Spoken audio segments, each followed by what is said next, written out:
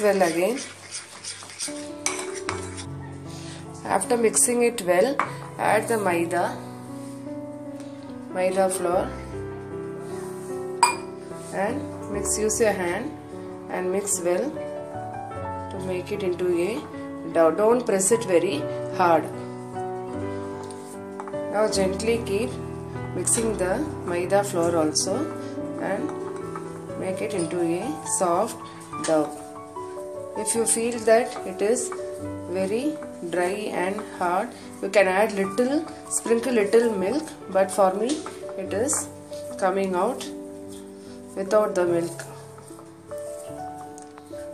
I have not added milk without the milk itself. It has come out into a smooth dough. Sometimes if the maida is little more it will be very hard. For that you can sprinkle little milk.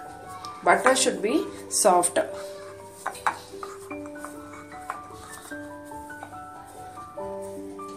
it has to be like this.